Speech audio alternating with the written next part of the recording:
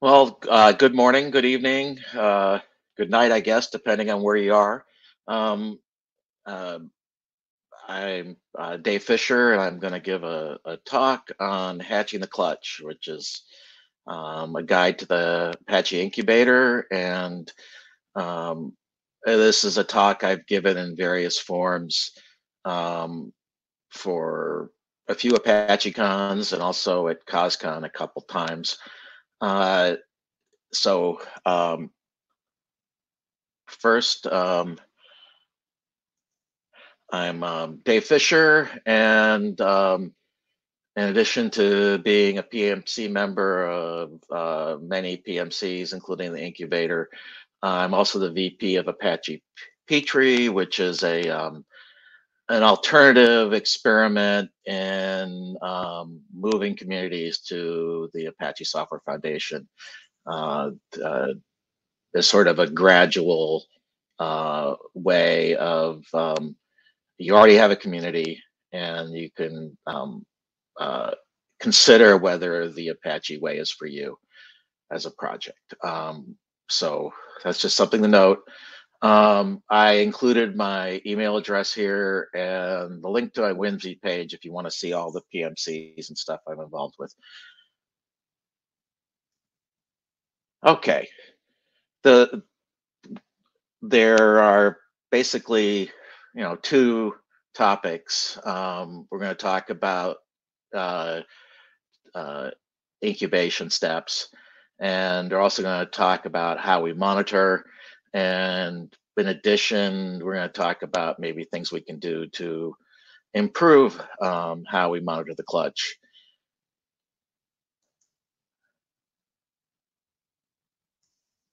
So the incubation lifestyle essentially um, has these uh, four uh, different um, uh, phases.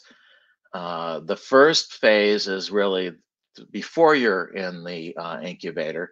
Uh, you're in the proposal phase, and you know you're finding your community. You're deciding that you you know you need to find champion and a, a mentor. I highly recommend that your champion um, be involved, and that's your proposal before you bring it to the incubator uh, general list. Uh, I and I also highly recommend that you make sure that your initial community is ready to sign an ICLA and understands what's going to happen there. Uh, and and then you can discuss it with the incubator because things will go a lot smoother and you'll also start a lot better.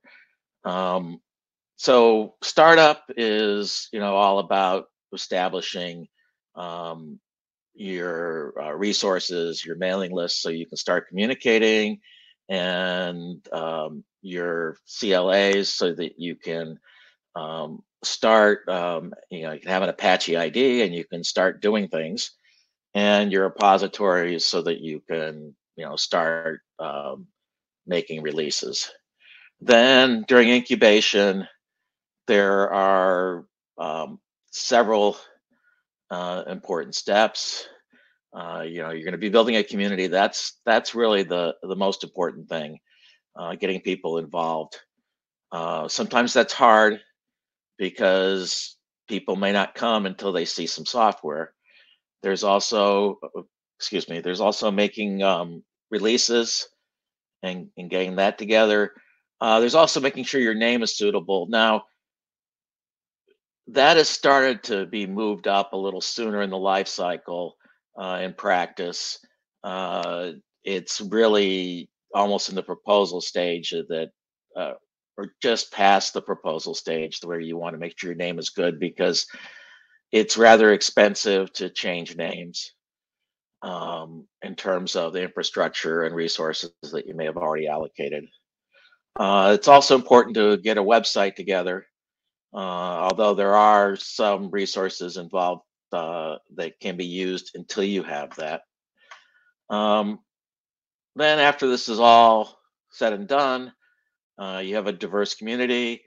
Uh, you've looked at the maturity model, um, and you know you, you you're ready to graduate. So here we are, at the proposal stage. So, you know, initial community, you're going to be getting, you know, your your initial committers, et cetera, together. Now, if you have a community of, of two or one developer, uh, it's probably not big enough to bring. You want to make sure that you, you know, have, um, you know, several developers involved. And it, it's helpful if they're from a different company uh, as well, so that it's truly already a um, a diverse group. Uh, that's going to save you time later. You might uh, end up um, being in incubation a long time or fail if you only have one or two developers. Um, in fact, you're going to find your champion. Now, a champion is someone who will guide you into Apache. So you want to have an experienced Apache person involved. Uh, you're going to have mentors. A champion may or may not be a mentor, but you're you're going to want to have three mentors. So you can see already that you're asking people to help you through incubation, and if there are more mentors than developers, uh, that's kind of a, a, a red flag. Um, so, uh, and the thing about mentors is, you know, you want to be engaged. The mentor is volunteered. Um, over time, mentors sometimes, uh, you know, find other things to do. They disappear, and that's just the way it is. Um, we have lots of examples of proposals. They're rather verbose, but you know, the important thing is, you know, identifying, you know, uh, dependencies, uh, licenses, you know, various things that may become issues while you're developing, just so they're upfront. Um, and then there's a discussion. Sometimes there's a long discussion. Sometimes it's a short discussion. It just it all varies. Uh, you can look at the archives on for general at um, uh, incubator to uh, see uh, uh, what some of those discussions have been like. Okay. Um, this is just sort of a little more detail I just discussed. Um, you know, it's it's uh, these are important um, um, bits and pieces that you really want to deal with. Um, and um, you know, some people are self-serving and getting everything together, but it's it's really important to make sure that there's a good discussion first. Um, and uh, you know, that's just the way it is. Um, the proposal. Um, and typically, you know, in, in, in almost every case, um, once the discussion is over, the incubator is happy to accept a project. Um, very seldom is there uh, a negative vote at this point.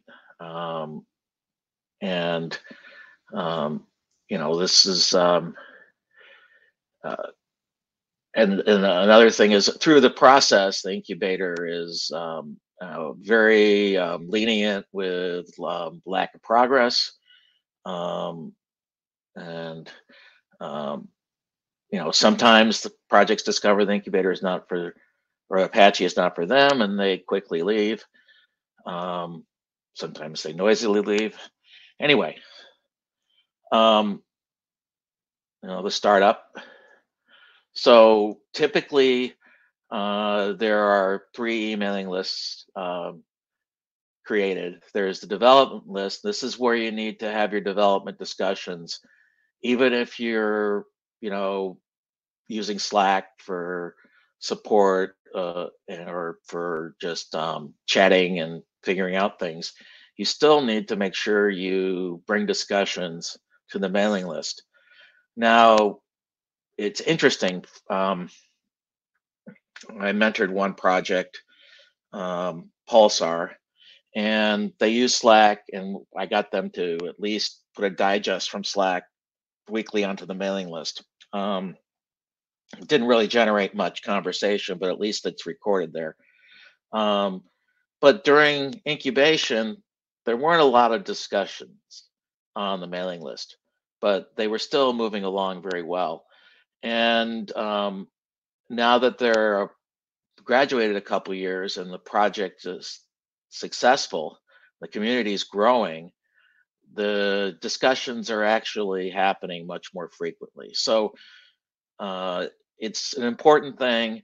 And another reason why it's important is on Slack, you're talking with people synchronously. Um, it's not really a good asynchronous discussion environment, but a development mailing list is asynchronous. So, you know, you someone sends a message and then someone sees it 12 hours later on the other side of the world and they respond. So if you want it to be a global project, to be an Apache project, it's a development list is really important. Now there's also a private list that gets created and that should be used as little as possible. Um, and it's mostly used to discuss people who may or may not be elected to be become committers or um, you know on the pod projects management committee. Uh, and you want to do that in private because uh, you know you don't want to embarrass someone or you don't you know you know if, if there's some issue that people have with them for whatever reason you want to make sure that that's like kept out of the public archives there's also cases about trademarks or a security issue that uh, you don't want to talk about in public where the private list would be the fallback uh, place. Um, there's also a commits list. Now, not every project creates a commits list, but then later they discover that, hey, we want a commits list or a notifications list or something like that because, um, you know, our development list is too noisy with um, GitHub notifications or or commits or et cetera. So you want to move it, you probably want to establish a commits list right away. Now, um, the clutch process tracks that you have a development list and you have a commit list.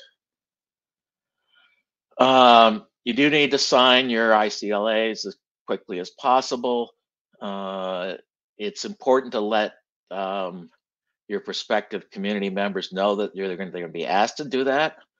Um, and so that they are not surprised and they're ready to to become part of the project.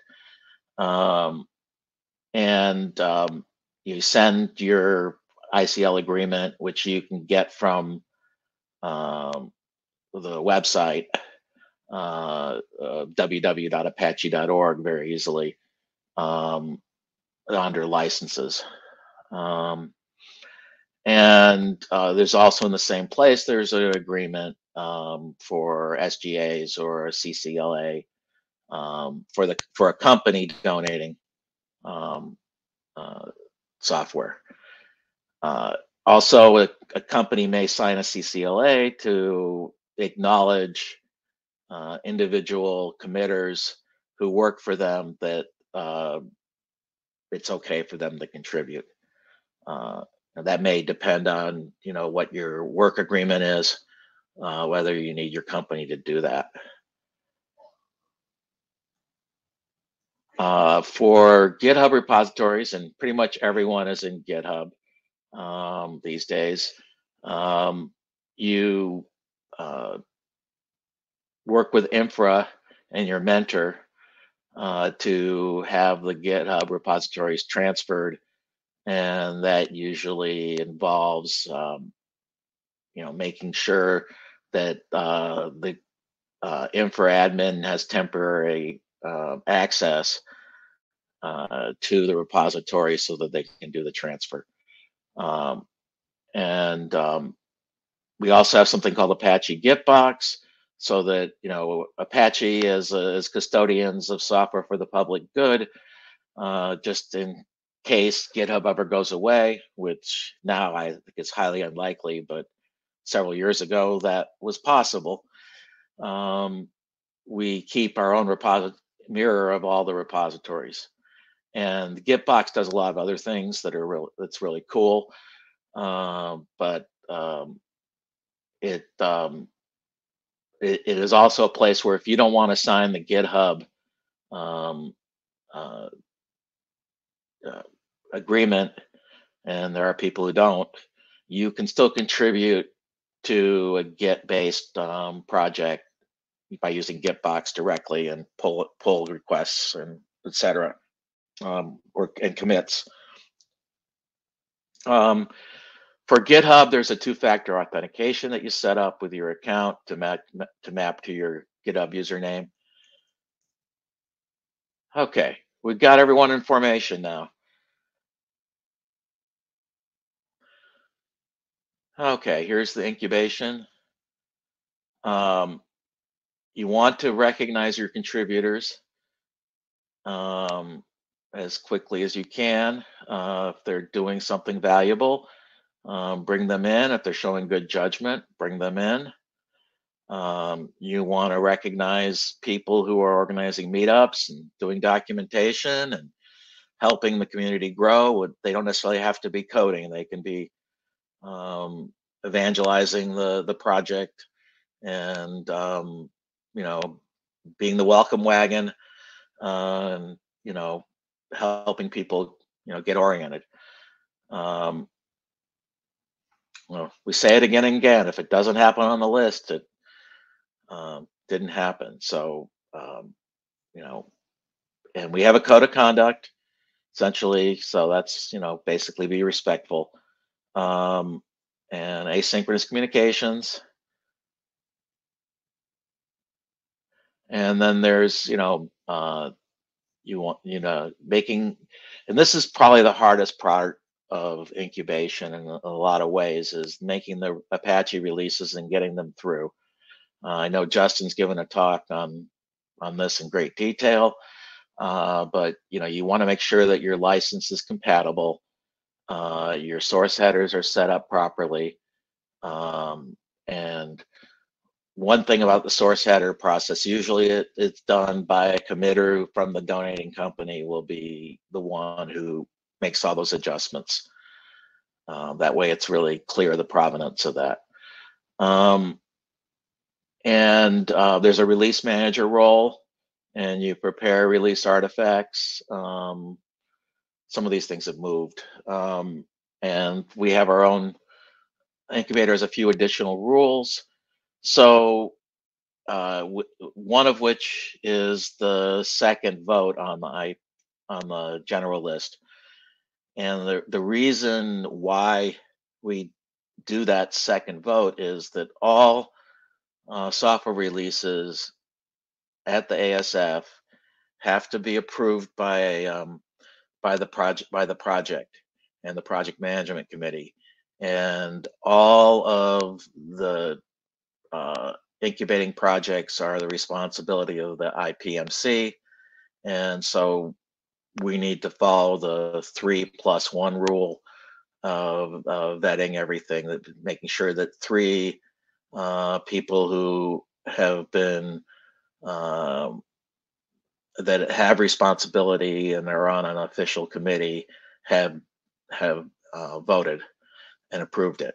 So um, one reason why it's important to have three mentors on your uh, podling is so that those three mentors uh, can um, vote for your release and help you get your release proper before you get to the general list um, and then when you get to the general list, they should vote quickly or just echo their vote. Uh, personally, I think that having voted on the other list is sufficient. Um, a, a, proper um, vote on general uh, that summarizes the list and points out the mentor votes uh, would be uh, should be sufficient. Now, one thing the general uh, vote does do is it allows other people uh, from the incubator to also vet the release and you know so these things are can be very complicated and there can it can be easy to miss um, some issues um, uh, with the notice file, etc. So, um, you know, just um, that this is this is the part that sometimes is a problem. A lot of communities, especially these days, are used to you know doing everything with continuous um, improvement and deployment, and um, this you know asynchronous 72 hours minimum. Uh, some projects are a week um, process um, uh, can be frustrating. Either you have a lot of artifacts that you're releasing, or you're just used to um, a very quick cadence. And so that can be a big culture clash. So make sure that you're ready for this before you come to the incubator. Um, back to the suitable name search. Um, you're going to work, there's a JIRA um, and you submit a JIRA and you have to do the research on your name, but there's some good guidance and you can look at other uh, name requests. And uh, once you fill that out, uh, the VP of brand and the brand committee uh, can review it and approve the name. Um, sometimes uh, a name might, you know, be fine in you know your language or understanding, but then um, when um, someone in the U.S. Google's it, um, the name ha- pops a porn site up at the top or something like that. So, um, you know, mostly, you know, names are acceptable, but um, you know, obviously we couldn't do Apache Google or etc. So, you know, think about the name um, um, carefully.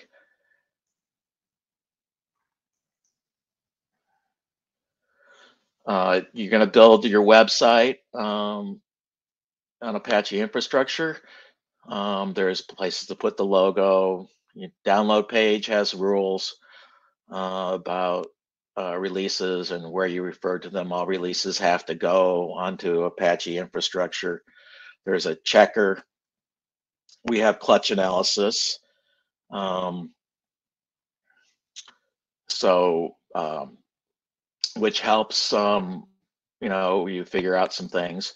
Um, and also we have a new system called um, asf pelican which is replacing has replaced the apache cms uh, and uh, i'm going to be giving a talk on that uh, in an hour and a half or so.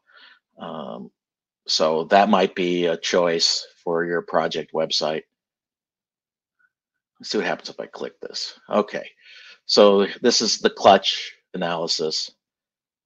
Um, so, you know, we're looking at things about the website, about, you know, different projects and, you know, does it have a commits list? Has a website? You know, distribution area, etc. Um, and there's some other bits and pieces here. Um, got definitions of everything here. Um, now there's one thing that projects keep called the status file. And there's also a YAML file. And for the last four or five years, there's been an effort to convert from the status file uh, to uh, a YAML file.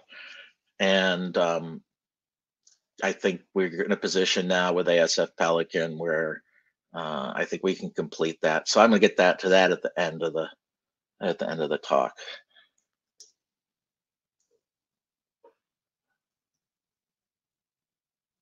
Oh, my my screen went away.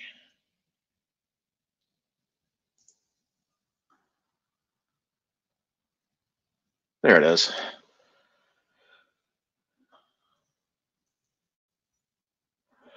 Okay. Well, now we have a vibrant community.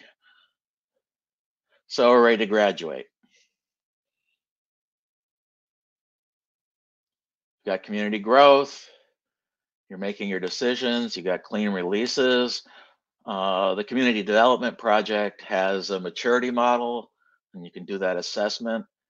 Um, and you can discuss in the project your answers and making sure that you, you understand all the bits and pieces.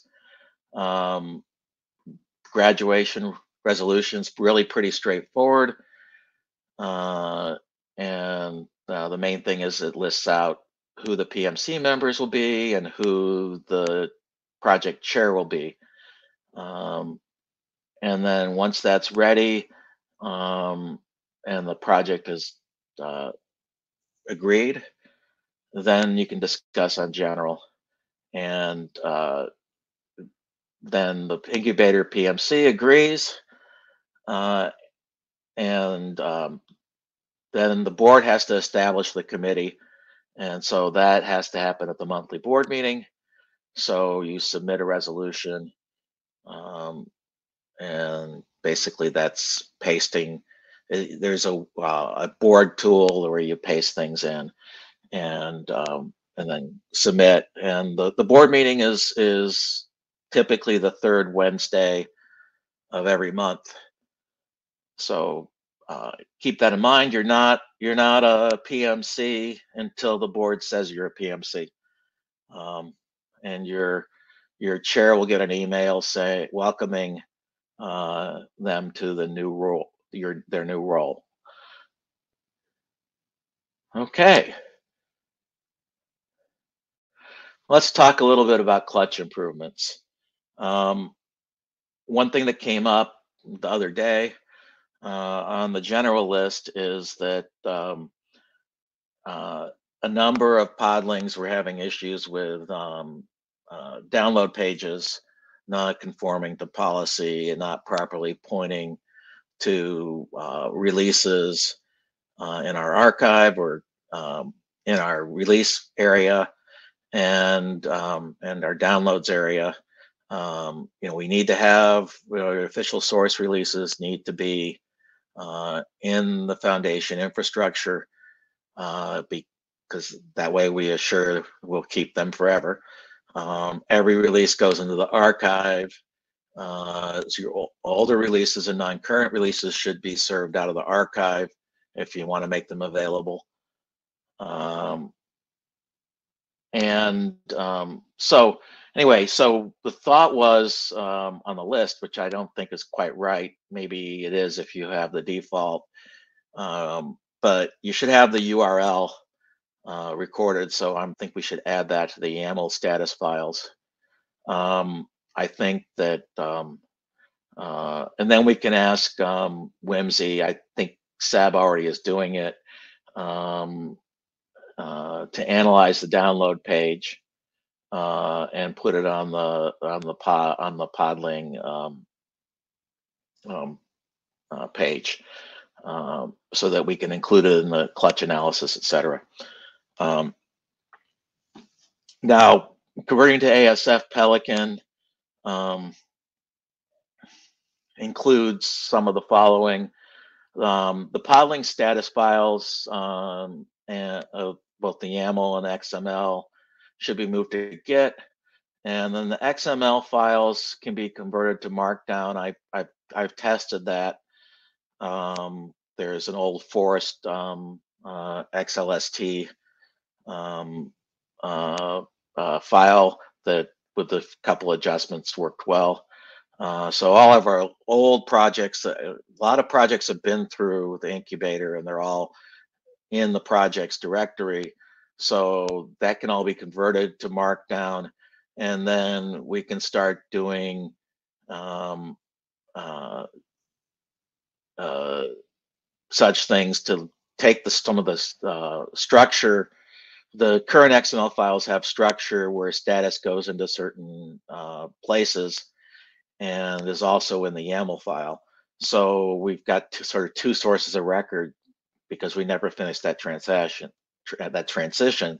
So if we finish that transition, then the the um, uh, status uh, project file can sort of it can be a a description of the project written by the project and uh, then um, include pieces of information from the YAML file and can include some clutch analysis So I can I can explain better how that's done um, uh, with ASF Pelican Talk. Um, there's um, there's ways of getting data and analyzing data in ASF Pelican, um, and um, I, there's examples of that. Uh, and then we can redo the clutch analysis page. So we think about it. So for instance, these items here are, okay, I'm just gonna go through this. This is, this is, this is the podling. You know, we don't really, we're almost always sponsored by the incubator, so I don't think this column adds much value. Um, the day of incubation and how many days in incubation, this is, I think is still important. And then this, this is whether the project's on a monthly um, reporting cycle or a quarterly. And then this is the which quarter. Uh, and then this is if they have a status page. So this would change to say, make sure they have a YAML file. And um, with Git, uh, the update date is a little harder than um, Subversion is to get the information out. With Subversion, you just can do an SVN log, uh, but um, with Git, you gotta look. You gotta look at the log and do a long form of the log, and then you can sort of find a date from there. Um, so that's gonna that might be a little more difficult. This is kind of like an update of how long it's been since status files have been updated, and you can see that you know maybe status files aren't updated as often as they should be. Some some, for instance, uh, Nemo here hasn't updated their status file in a long time, um, almost since when they started. Uh, these were some counts of of oh, this is, so this is status update count. So this commits the podling status file in the previous two, four, and nine months. I don't think that's of value. Um, so I think we can eliminate some of these things. This is the number of committers. This actually comes from LDAP, uh, uh, an LDAP JSON file that uh, provides. That so this is the true number of committers. Uh, this is the number of new committers, and that only works if this really only works if you're using uh, the the status file to provide news on com on new committers. And as you can see, not everyone does that.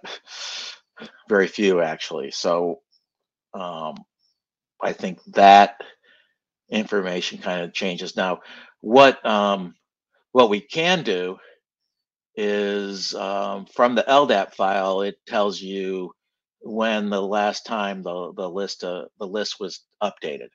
So we can say how recently um, there was an update to um, the membership list, either PMC or whatnot and then we can these are these are all things that we should continue in one way or another. So and we can add has download page to this list. Okay the clutch analysis also um, has some and this is nice to see it such a small group because we don't have a lot of issues with things. Um, here's a list of all the active mentors right? And how many people here JBO is clearly our champion of being a mentor. Um, and there's some notes. This is sort of notes on things created by the clutch, so that'll change a little bit. And this is what's on the uh, what's on the clutch page. Um, so the clutch page, let's try to find an interesting one. And we might be nearing time. Um,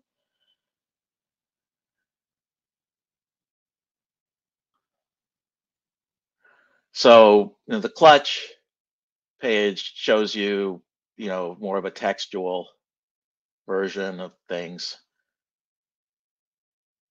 This should be changed to list now. Um, So we we we can there's on Gitbox there's a repositories JSON that has all these all that has all this information. Um, uh, the various project repositories. Um, and then this is the release artifacts. Um, and if you notice, these have the correct um, URLs that you should be using on your download page. And then it has an errata list, so like events list or license or security list. So this helps. This exposing this better will help. Um, I think that's it. Uh, I'll open up for questions.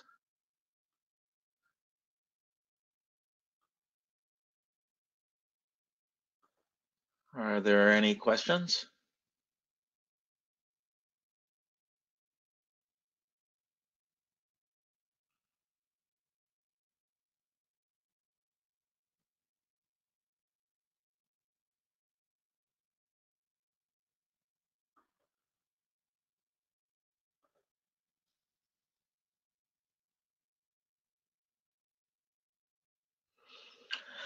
Oh, that's a good one.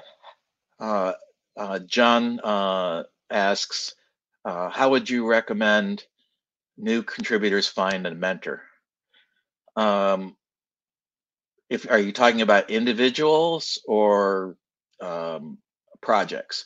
Uh, for um, projects, um, communities, I would recommend going to general at list and ask say uh, you're looking for some mentors uh, to consider um, and or looking for a champion to help um, uh, determine if you want to become a, an Apache project and help make that decision. Um, and um, if it's an individual and you're looking for mentors to help, you might want to go to the community development project dev at community.apache.org. Excuse me.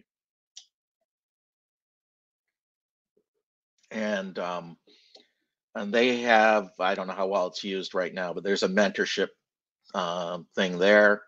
Um, another way a new contributor as an individual could um, uh, get um, helped is to actually join a project and ask for help and say, I, I want to learn how to contribute.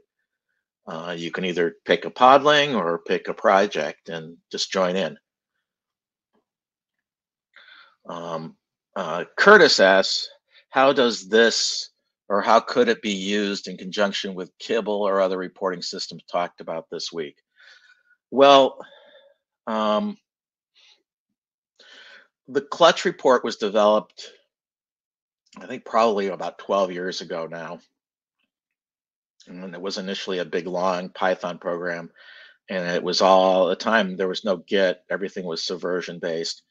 Um, i suppose um, a conversation could be had with kibble uh, about um, what kinds of information would they be interested in out of the clutch uh, process? So um, we could produce a file that they could then find on the website that they could ingest. Um, that would be that would be my suggestion. Uh, it might also be interesting to um, consume some of the kibble information into the clutch report. Um, I think it would definitely we have to be careful there because I, some of that stuff is may not work really well, like the sentiment analysis and things like that. Um, it's that's kind of similar to some stuff that's been discussed with on diversity and inclusion. There's a conscious language uh, checker, um, which you know, depending on your project and code base, um, uh, may need significant tuning to be helpful. Um, like, for example, suppose you're uh, Apache POI um, and you implement um, uh, some um, standards, and in the standards, uh, the XML you're creating is going to use the phrase master somewhere because that's just the standard. And that's something that's never going to change, even though we'd like people to stop, stop using that word uh, because of the connotation. Uh, are there any other questions?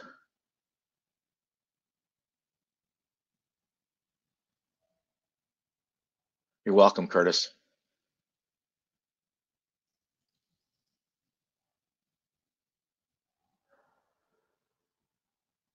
Well, um, my my talk on the ASF Pelican is in 90 minutes and it's on the community track. All right. Thank you, everyone. Take care.